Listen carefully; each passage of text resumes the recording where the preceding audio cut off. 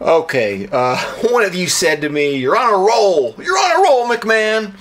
Well, here's the thing I was on my spring break, and when I'm on my break, I try to get as much content as I can because I got the last half of the semester and I got to tighten up my belt, and so uh, it's going to be crazy those last uh, eight weeks. So uh, let's get the content out while we can. Seize the opportunity. Okay. So, I was thinking of uh, reviewing this fourth gen uh, monster, and uh, it's a very special Save the Ocean edition. Purple dial has little tiny penguin feet on it, and uh, I'm looking at it and I'm thinking, wait a minute! It just seems like yesterday I had the first gen monster. I mean, what? I don't even know where the time went. I I'm old. Oh my god, I'm old. I just yesterday had the the first gen and now I have the fourth gen here. And I actually like them all. The monster's a special piece, man. So Okay. I lost my mind. Listen to me. As I was thinking about the first gen monster in this current uh, fourth edition right here, uh, uh, a coinciding thought occurred to me, and it was this: I can't believe LeBron James is close to 40. I it seems like yesterday he was this young rookie on the Cavaliers, and then when he was on the Mavericks, the decision. All these loudmouth broadcasters in sports world said he lacked the special ingredient required to achieve greatness. And I'll tell you what, LeBron James, he was listening. And it was almost like those words put fire in him. And I'll tell you what, he became the greatest NBA scorer of all time. Now, my favorite basketball player of all time is Michael Jordan, but, but, you know, the statistics don't lie. And uh, LeBron James, man, I started researching these memories I had of the first gen monster and my my memories of LeBron James when he first started with the Cleveland Cavaliers. And I, I may have lost my mind, but uh, I have something to tell you, something to share with you, ladies and gentlemen, something to share with you about this very beautiful 42 millimeter Seiko fourth gen monster with the purple dial and little penguin feet. I have something to share with you about this. Uh, in my research, I realize that LeBron James' basketball career has followed the Seiko Monster timeline to an uncanny degree. Now hear me out. Don't leave. Don't don't go to another channel. No flipping. No flipping. Stay with me. All right, listen. First Gen Monster 2010. That's when James played as LeBron 1.0 on the Cavaliers. Second Gen Monster, 2012. That's when James played as LeBron 2.0 on the Miami Heat. Look at that. Unbelievable. Third Gen Monster, 2014.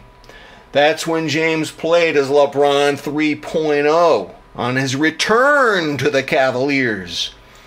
Fourth Gen Monster, 2019. That's when James played as LeBron 4.0 on the Los Angeles Lakers. Ladies and gentlemen, as I speak, there is no fifth gen monster and there is no fifth gen LeBron. But wait, there's more. No flipping, no flipping. Don't leave me. Stay with me here. Just as LeBron is the leading scorer of all time, the Seiko Monster remains the dominant all time seller of Seiko divers. Just as LeBron has been MVP for every team he's ever played on, the Monster has been an MVP for the Seiko diver lineup in every iteration. Ladies and gentlemen, the evidence is overwhelming. Against his will, LeBron James is evolving with the Seiko Monster. This is a plot device in a Philip K. Dick science fiction novel that he was still writing before his un- untimely death. No flipping, no flipping. Whether or not you've heard of Philip K. Dick doesn't matter. Uh, what matters is that the monster is the MVP of the Seiko divers. And so, in this context, The expectations are high for this Seiko monster. Very high. Very high indeed. So, how does the fourth gen Save the Ocean line up? Let's start with a price point. Purchase for $330 in 2024. You're getting a rudimentary Seiko movement, the 4R36, 40 hours. Not bad at this price. Now, Escapement Watch, I believe the gentleman on that very successful uh, YouTube channel, Escapement Watch, says this movement, the 4R36, is actually more accurate than the 6R35 on more expensive models. Uh, I would like to get some confirmation, but I find that interesting. He he's very obsessed with uh, checking the accuracy of his watches. He has uh, the machinery for it on his channel. Uh, the build quality in terms of case design, dial detail, lume, time accuracy, and most importantly, the bell the bezel movement is excellent on this. There's no loose, cheap feeling. It is a really nice. There's perfect tension and smoothness. And uh, I'm very, I, I don't know how Seiko did this for 330 bucks. So uh, this is all outstanding, worthy of a watch double, uh, double the cost. Now, where where you will feel that Seiko pinched the pennies, and ooh, they pinched them. Oh, they pinched those pennies. It was on the rattle bracelet with a stamped clasp. You won't even see it in this video. You can't, I can't even look at it. Now I took off that uh, rattle bracelet off the monster and I whisked it away. I whisked the abomination away, and it's currently this is currently on an FKM uh, rubber strap with Seiko 2.5 fat bar, spring bars. This is called the Dive Core. Very comfortable. Now I I've tried this on many uh, of my other straps. Man, it looks good on the uh, the orange and my navy blue uh, original Tropic, but I there's something about black that brings out that purple. So I'm happy with black. I'm happy with the 2.5 uh, spring bars. I mean, you got to have the right strap. I mean, LeBron James wears his Nike basketball shoes, and my fourth gen monster is mated with a premium dive core. Got to go with that. So um, that that's part of the appeal. Now, um, what else can I say about it? It it it's a good size. Let me see if I can fit the Seiko tuna in here just so you can see the size differential. I don't know if we can do this. Uh, the, the tuna is a little more significant in size, also on a dive core.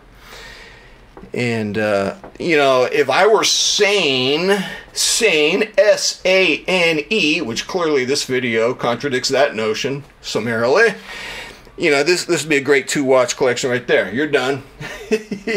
That's. What a greedy pig! You got another six watches in your collection. Get out of my face, McMahon. All right, so.